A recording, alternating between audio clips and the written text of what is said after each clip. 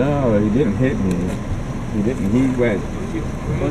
He was coming from way back down by the parkway. I just turned out of this place right here, and um, Búscame el teléfono, he hermano. was coming. I ¿Te didn't busca realize qué? how fast he was coming until he got up to me, and I went from this side of the road over, and I was going to go off into the grass because he was coming that fast up on me. And he swerved around and just lost control. He started flipping way back here. I heard it. hit me. I only I only moved like this so I could.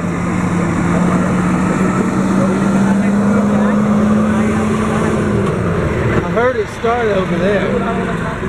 Oh, tienes que buscar tus celulares. Oh, tienes que preguntar a la policía. Ah, you can ask. You can ask him. This is my truck. All right. Yeah. Yeah, I just pulled off here so I could see his so because other cars were following and stopping to get him out, and there was no headlights. Okay. Yo, you're lucky though.